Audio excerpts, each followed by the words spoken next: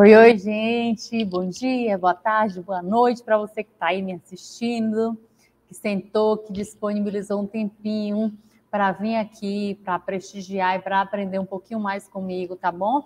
Sejam muito bem-vindos à nossa aula, que hoje a gente que hoje vai falar de vacinas. A nossa aula hoje é de língua portuguesa e a gente vai discutir sobre um tema super atual, né? E que diz muito do momento em que nós estamos vivendo mas que não é só do momento que nós estamos vivendo. É um assunto realmente que salva vidas, é um assunto que durante a, toda a nossa história é, foi essencial para a prevenção de muitas doenças, e se hoje a gente tem é, muitas conquistas na área da saúde, é, foi por realmente por conta das vacinas, dos estudos, das pesquisas, dos nossos grandes cientistas que se dedicam à ciência, e que trazem para a gente uma solução, né, para gra graves doenças que vêm surgindo ao longo do tempo, tá?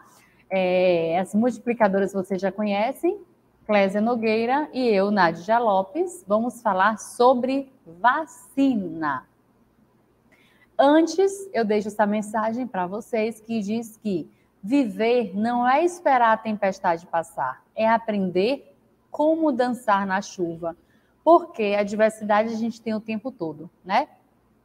A gente não vai se livrar dos problemas, é, ou é problema profissional, ou é problema familiar, ou é problema com nós mesmos, com nossas emoções, sentimentos, enfim, né? A gente sempre vai ter problemas, mas, né? Viver não é só o ter o problema, esperar o problema passar para a gente viver, é a gente aprender como lidar com eles e seguir o nosso caminho, seguir a nossa vida, né? Com problema ou sem problema, a gente tem que seguir, né? Então, a forma com que a gente resolve é que realmente importa. E vamos lá, vamos falar sobre vacina.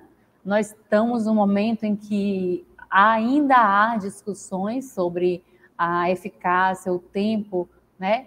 A eficácia eu nem diria mais, porque já é comprovado que as vacinas que que estamos tomando agora por conta da, do coronavírus, é, já caiu por terra toda dúvida, todo medo, que realmente a gente está vendo os resultados, né? A gente tem números cada dia menores de pessoas contaminadas e de mortes também, então a gente sabe da eficácia e vamos conhecer um pouquinho sobre a história e sobre esse assunto relacionado à vacina, tá bom? Então, gente, a leitura de hoje é uma leitura né, provocativa. Nosso tema, nossa abordagem hoje, né, nosso, nosso conteúdo é leitura, ler, ler por prazer, ler para conhecer, ler né, para sair da escuridão, para a gente sair da, da, né, da zona de conforto. Quando a gente lê, a gente confronta aquilo que a gente sabe, tem aquilo que a gente tem dúvida e confirma aquilo que a gente sabe ou desacredita, né? Porque a gente não pode ler é, achando que tudo que a gente vai ler é certo, é verdadeiro, é comprovado. Não, a gente tem que ler também com criticidade, a gente tem que aprender também a duvidar do que a gente lê e colocar as nossas marcas, as nossas impressões, não é? Então, vamos falar hoje, vamos conversar hoje sobre esse tema que é tão importante para a prevenção e para a manutenção da vida, tá certo? E aí eu queria saber de você, é de casa, se você já está vacinado, se seu cartão de vacina está tudo ok, né? Mesmo adulto, é preciso ter um cartão de vacina, é preciso acompanhar né, a, as vacinas direitinho. E aí eu queria saber se você tem cartão de vacina, né? Como é que ele está, se ele está atualizado. Queria saber também se você já tomou né, a vacina contra a Covid-19, qual, qual foi né, a dose que você já tomou, se já tomou a primeira, a segunda, a primeira, a segunda, a terceira, ou só a primeira, né? Como é que anda a sua saúde nesse sentido? Você tem né, buscado alternativas para prevenir a tua saúde?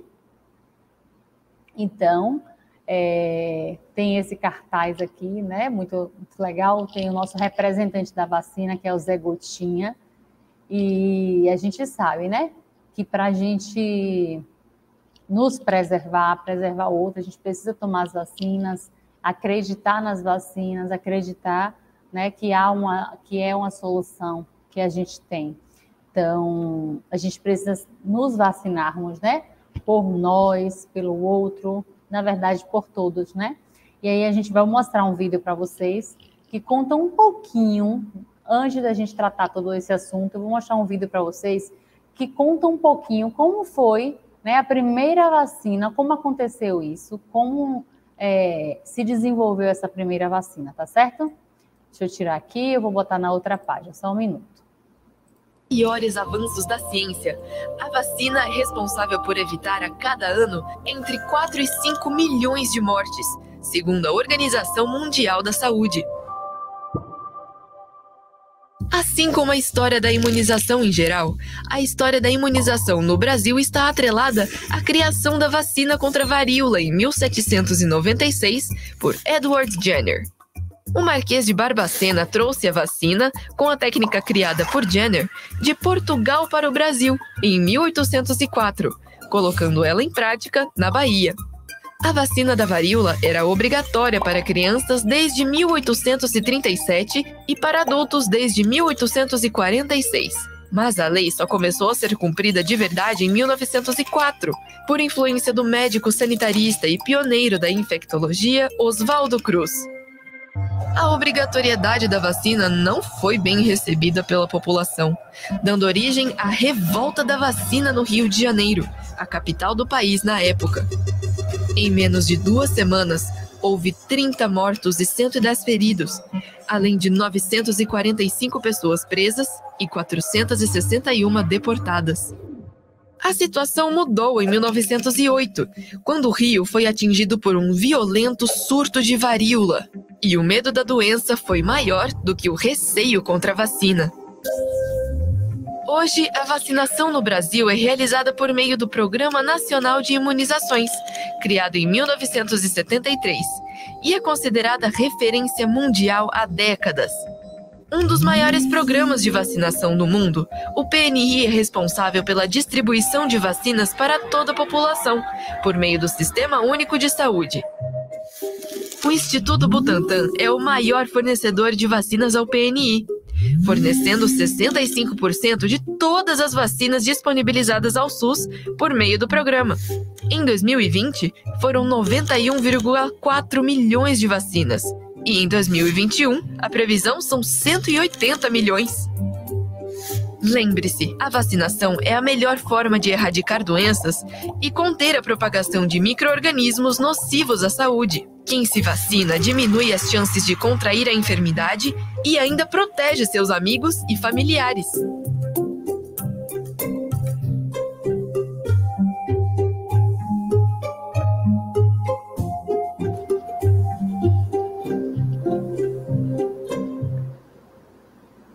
Então, gente, eu vou deixar né, esse site aí, Instituto Butantan, onde a gente pode ver né, é, a história da primeira vacina.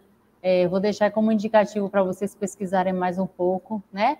Quem trouxe essa vacina para o Brasil, a importância da vacina, né? Como se deu a primeira vacinação, a importância do Instituto, né? O Instituto Butantan, que é uma referência mundial. Então, vou deixar aqui esse site. Olha só, vocês podem colocar, ó, Instituto Butantan, e aí vocês vão poder ter tem alguns vídeos muito interessantes que a gente pode, vocês podem aqui estar conhecendo um pouco mais sobre a revolta da vacina, né? A comissão de organização e votação da proposta da Câmara, vacinação, sistema imunológico, entre outros vídeos que é interessante para que vocês conheçam um pouquinho sobre esse assunto, né? Aprimorem mais esse assunto. E a gente vai continuar falando sobre esse assunto, lembrando da importância que a vacina tem, né? Vocês viram aí no vídeo que essa discussão não é de agora, né? E que a, as primeiras vacinas, elas não foram, a primeira vacina ela não foi muito aceita pela população, causando inclusive uma revolução, mas hoje é inegável, né? A gente tem muitas doenças que só foi realmente controlada por conta da vacinação, por conta desses pesquisadores que a serviço da ciência vieram né, a nos beneficiar. Então, a gente precisa confiar nessas pessoas que estudam, que buscam melhores formas de resolver esses problemas, né? Então, gente, não esqueçam que manter a imunização em dia é fundamental para diminuir e mesmo erradicar doenças. Nós temos doenças já erradicadas graças à vacinação. Então, é fundamental que todos, crianças, jovens, adultos, idosos, mantenham a carteira de vacinação em dia, né? E assim a gente possa se proteger, né? Tanto a gente se protege quanto a gente protege o outro, né? Como doenças virais mesmo. Então, a gente está não só pensando em nós, mas a gente está pensando em todo um coletivo, né? Quando a gente se vacina também, a gente pensa no outro. Então, a partir do momento no qual né, se entende que a vacina ela contribui para a imunidade do organismo e para o combate de algumas doenças, a transmissão dessa patologia diminui, gente, o que contribui para a imunização né, coletiva. Então, é a grande importância da vacinação é a gente também contribuir para essa imunização coletiva. Então, quem pensa que está vacinando, que é uma escolha pessoal, é mais do que pessoal, né? É uma escolha coletiva, é, uma, é um benefício coletivo, porque quando a gente se vacina, a gente não só se protege, quanto a gente protege o outro também. Então, é importante a gente lembrar, né, que precisamos, nesse momento, principalmente, precisamos cuidar uns dos outros. E tá aí, tá, o resultado tá aí, a gente está vendo quanto os níveis a, a, a, de, de morte, a quantidade de mortes e de doenças tem né, caído a cada dia por conta da imunização. Então, fica atento, se liga, pensa no outro também, não pensa só em você não. E lembra que vacinação é um ato coletivo, é um ato de cuidado coletivo, tá bom? Então, a pessoa vacinada, ela tem maior probabilidade de não transmitir a doença para aqueles que não foram imunizados. Existem, a gente sabe, né, que existem, por exemplo, no coronavírus, na, essa vacina da, do, do Covid, né, do coronavírus, é, tem pessoas que não podem ainda tomar essa vacina, tem algumas restrições, e quando a gente se vacina, a gente está protegendo quem não pode se vacinar, né, porque a gente está evitando passar, transmitir aquela doença.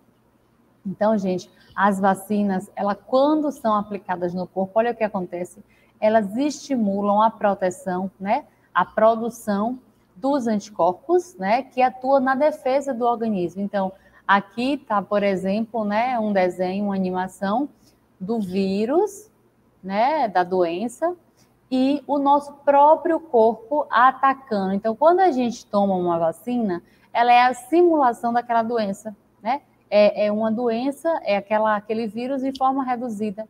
É um, um vírus que foi produzido, né, no laboratório, transformado em vacina e vai para o nosso organismo e o nosso organismo vai atacar, produzindo assim os anticorpos. E em todo momento que o, o corpo ele produz os anticorpos, a gente está se protegendo. Então, é, é uma vacina que vai provocar uma reação do nosso próprio corpo para se proteger. Então, como é que acontece isso? Né? Quando o nosso organismo eles vê um corpo estranho, no caso, a vacina chega como um corpo estranho, né? Então, a imunização ativa, conhecida popularmente como vacina, ela é composta por partículas do próprio organismo causador da doença. Então, partículas daquela doença. Então, o que é que vai acontecer? Quando ele entra em contato né, com é, essa substância, o organismo de cada pessoa reconhece como sendo um corpo estranho, a qual precisará ser combatido e é o nosso próprio organismo combatendo a doença. Então, é, esse corpo estranho, ele entra em contato com o nosso organismo e o nosso organismo vai produzir o quê? Os anticorpos que vai nos proteger. E dessa forma, gente, o nosso sistema imunológico, ele vai fazer uma estimulação da produção dos anticorpos, que são as proteínas da defesa. Também são produzidas células de memória que atua de uma forma mais eficaz quando o corpo é exposto novamente né, àquele agente. Então, mesmo que a gente venha a nos contaminarmos depois, o nosso corpo já vai ter produzido né, aquelas células de memória e vai atuar né, de uma forma eficaz, fazendo com que esse corpo né, ele seja exposto àquele agente. Então, o nosso corpo ele vai se proteger, ele vai atacar e ele vai nos proteger, né? Raquel Zorzelli diz que quanto mais pessoas né, de uma comunidade estão protegidas, menor é a chance, uma chance é, de uma doença se propagar. Então, um exemplo recente que a gente está aí, né, vendo claramente, é o, a vacinação contra o vírus da Covid. Tem ajudado a diminuir muito os índices, né, de internações no mundo todo. Por isso que é importante a gente manter esse calendário de vacinação, né, sempre atualizado. Manter as vacinas em dia é fundamental para a gente diminuir, né, a incidência de algumas doenças na população. Então, se cuida, gente, cuida do outro. Lembra que a gente está se protegendo, protegendo as outras pessoas. Né? É um ato de, de solidariedade, é um ato humano. Então, para essa vacina ser produzida, muitas pessoas estiveram envolvidas, foram muitas, é, muitas pesquisas, o, o mundo todo mobilizado, os pesquisadores do mundo inteiro mobilizados para produzir em tempo recorde que foi também uma, uma das dúvidas e medo da população, né? O tempo foi é, quando se compara a outras vacinas que passaram 5, 6, 7, 10 anos em fase de estudo, de pesquisa, a gente precisou né, confiar na ciência, a gente precisou é, tomar a nossa vacina, claro que ela, ela apesar de ter né, o, o tempo recorde de fabricação, é, existem critérios para que realmente seja válida e seja eficaz. Né? Atualmente, a gente sabe que milhões, mais de 99%, é, bil, milhões de pessoas tomaram a segunda dose e a dose única de imunizantes contra a Covid-19, o que equivale né, a 46,72% da população com esse esquema vacinal completo. Então, se a gente tem hoje uma diminuição nesses índices, a gente agradece né, à população que teve essa consciência, agradece aos cientistas, aos médicos, aos estudiosos, a todos, enfim, todas as pessoas que se dedicaram à, à busca né, desse, desse resultado, à busca dessa, é, dessa resposta que a gente tanto precisava.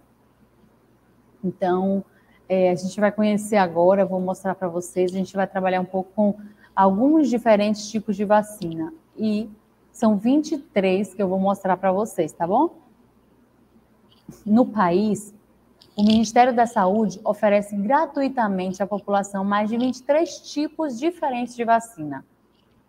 Entre elas destacam-se a vacina contra sarampo, rubéola, cachumba, catapora, difteria, tétano, coqueluche, meningite, tuberculose, polimiolite, pneumonia e atualmente a contra coronavírus, né? Então, assim, olha quanto é, quantas, quantas vacinas existem aí oferecidas gratuitamente para a população. Então, se a gente não tivesse o governo para estar disponibilizando, a gente precisaria comprar essas vacinas. Existem lugares, claro, que vendem, né? As pessoas compram essas vacinas, mas o nosso SUS, o Sistema Único de Saúde, ele oferece para a gente esses tipos aí que são cruciais. A gente, é, é, nós tivemos períodos críticos da, da nossa história em que algumas dessas doenças elas devastaram, elas mataram muitas pessoas. E hoje a gente tem, né, desde o bebê já sai, na verdade, já sai do hospital com a, o cartão de vacina, já tomando algumas vacinas, e isso tudo é muito importante para que a gente é, garanta né, a maior saúde da população. O Brasil, gente, é um dos países né, que mais oferta vacina à população. E a maioria delas é produzida aqui mesmo, no nosso território, no território brasileiro. O que contribui para que o país conseguisse vitórias, né?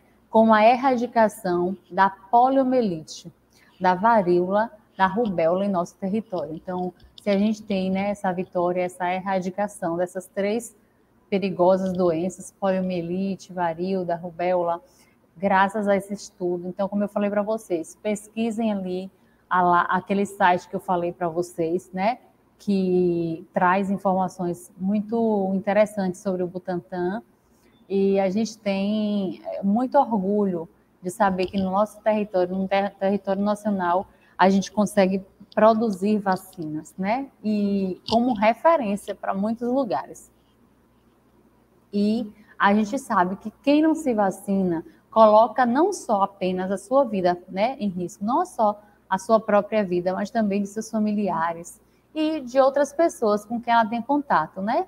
Além de contribuir para aumentar a circulação, né, de doenças. Tomar vacinas é a melhor maneira de se proteger, né, é, de doenças graves, de suas complicações que podem levar até a morte. Então, algumas, algumas doenças realmente só a vacina para nos proteger, para cuidar de nós, né? Graças à vacinação, houve uma queda dramática na incidência de doenças, né? Que eu estava falando com vocês que algumas doenças aqui no Brasil né, eram muito fortes, eram muito preocupantes e matava realmente muitas pessoas. Mas com eh, o avanço e com o oferecimento gratuito dessas vacinas, né, por parte do sistema de saúde, muitas, muitas vacinas foram erradicadas. E é, muita gente ainda tem, na verdade, muitas pessoas elas têm dúvidas, têm medo, mesmo nos dias de hoje, a gente sabe que tem pessoas que realmente ainda se sentem inseguras, né, com a vacina. Mas a gente já sabe que as vacinas, ele, elas são feitas com micro-organismos da própria doença, né, que vai prevenir. Então, gente, vacina, a, a, a ciência está aí, a, a comprovação na realidade a gente já tem. Então, vamos nos vacinar, vamos manter nossa caderneta em dias, porque realmente vacinas salvam vidas. E isso é inegável. Ninguém pode dizer o contrário, porque a gente sabe que as vacinas elas salvam vidas mesmos, mesmo, né? Então, vamos ver aqui agora, ó, como as vacinas elas são seguras e eficazes. A gente já sabe, já falei para vocês, né? que as vacinas elas são feitas com um microorganismo da própria doença que previne, por exemplo, né? A vacina, a gente tem a vacina contra o sarampo, que contém o vírus do sarampo. No entanto, esses microorganismos, eles estão enfraquecidos ou mortos, fazendo com que o corpo ele não desenvolva a doença, mas que ele se torne preparado para combater. Então é dessa forma que acontece, né, o combate, é dessa forma que o nosso organismo ele se é, autoprotege. Então, o que, que acontece? A vacina, ela contém ali, claro, que é, o, o próprio vírus inativo, né? Então, tem microorganismo ali. E é, esse vírus que está ali, ele não está ele não está normal, ele está enfraquecido, né? Ou ele está morto. Então, ali naquela substância tem o próprio vírus enfraquecido ou morto e o que vai fazer, na verdade, a proteção é justamente a resposta do nosso organismo. É o nosso organismo que vai perceber que tem alguma coisa errada, é o nosso organismo que vai produzir anticorpos e vai se proteger, né? Então, vamos ver aqui agora um pouquinho, vamos falar um pouco sobre vacinas certas para cada fase. Além da gente levar os filhos para serem vacinados, é fundamental ficar atento para quais são as vacinas que eles vão tomar. O Ministério da Saúde tem um calendário de vacinação específico né, para recém-nascidos e crianças, bem como para pré-adolescentes e também adolescentes, e para adultos e idosos também. E ainda também tem um diferenciado para gestantes. Então, é, nesse, nesse, nessa caderneta de vacina, nesse calendário de vacina, é possível você acompanhar, né? Quem tem filho aí sabe, desde bebezinho, às vezes a gente fica até com dó, né? Ver um bebezinho sendo furado, mas é super necessário. Então a gente tem que entender que a vacina ela salva e que a gente precisa muito tomar vacina, né? Toda vacina, gente, ela é licenciada para uso, né? Ele, é, ele passa, né, é, é, por diversas fases de avaliação, garantindo maior segurança. Então não é assim, fez a vacina, todo mundo vai tomar, não. Existem testes, existem estudos, é preciso ser comprovado, é preciso ser liberado. Não é assim como algumas pessoas pensam, ah, fizeram lá uma vacina de última hora. Não, a vacina ela é muito estudada, ela é feita testes antes, existe né, uma, uma quantidade de gente, muito, de muita gente fazendo esses testes para ver realmente a eficácia, não é assim, né? No Brasil, essa função cabe à Agência Nacional de Vigilância Sanitária, que a gente chama de Anvisa. A Anvisa vai fazer né, essa verificação e só depois que realmente tem certeza que é eficaz é que a Anvisa vai liberar.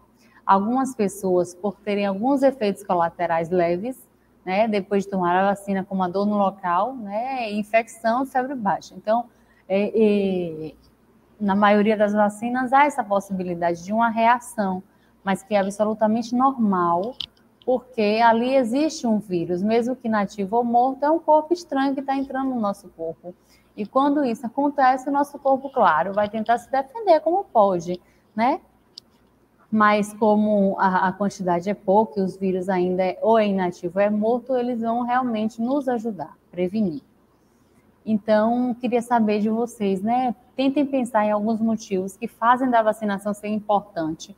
Né? Eu trouxe aí alguns para a gente ver. Então, a gente sabe que qual é a importância da vacina? Redução do número de casos de doenças infecciosas em toda a comunidade, uma vez que a transmissão é diminuída. Então, quando há essa vacinação, né, em massa, ou da sociedade em geral, como a gente está vendo agora, no caso do coronavírus, é, a gente vê né, que esse número de toda a comunidade diminui. Né? A quantidade de pessoas que estavam, por exemplo, antes da vacinação era enorme. Hoje a gente já pode comemorar, claro que ainda se cuidando, mas a gente já pode comemorar um grande avanço, né? Então, além dessa diminuição da transmissão, né, existe uma diminuição do número de hospitalizações.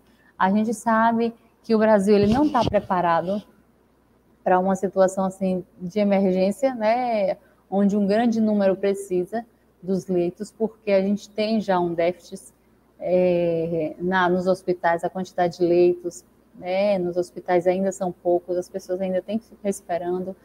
Então, com um problema desse tão grande, a gente né, sai ainda mais do conforto. É, na verdade, nem, nem é conforto, porque as pessoas da área de saúde estão sempre trabalhando no limite, né, estão sempre dando o seu melhor, mas que ainda é preciso aumentar a quantidade de vacinas, para que a gente tenha realmente é, uma erradicação de algumas doenças. Redução dos gastos com medicamentos. Então, quando a gente toma uma vacina, é, a gente está protegido no caso, se a gente precisar né, é, é adoecer, a gente está ali é, imunizado, está com o sistema imunológico mais forte e a gente vai aguentar passar. Não quer dizer que quem tomou a vacina não vai pegar a doença, pode pegar sim, mas que vai vir de forma mais leve e que a pessoa vai se sentir melhor, porque os sintomas não são os mesmos, né? Ele vai, eles estarão mais leves. Então, vai também diminuir os gastos com medicamentos, porque ao invés de a gente ficar se entupindo de remédios, ou o governo comprando um monte de remédios, a gente pode resolver com a vacina, que também vai ser um gasto, mas que pelo menos né, a gente vai estar evitando uma contaminação em massa, nos protegendo, protegendo o outro, né? É, reduz o número de mortalidade, uma vez que está prevenindo doenças, e erradicação, que é quando é, é, realmente a doença acaba naquele território por conta das vacinas. Então, gente, dá uma olhadinha no cartão de vacina de vocês, se preocupem porque esse assunto é sério, não deixem de se vacinar, não deixem de se cuidar, porque vacinas salvam vidas e a gente precisa cuidar né, da nossa e do outro. Então, corra lá, dá uma olhadinha no seu cartão de vacina, né? Veja, cheque se está tudo ok. Se não tiver, né, procure um posto, procure uma UPA, procure um, um, um atendimento mais próximo da tua casa, verifique quais são as vacinas que você está precisando, para que assim a gente né, cuide um do outro. Então é isso, gente. Obrigada pela atenção, obrigada por estar aí, né, disponibilizando um tempo para aprender, para a gente dialogar, para a gente conversar e para a gente chegar mais perto de vocês. Então vamos nos cuidar, vamos tomar vacina, um cuidando do outro, a gente vai ter realmente é, um Brasil melhor, com a cara melhor, não é? Eu me despeço de vocês, gente, e até a próxima aula, se Deus quiser. Tchau, tchau.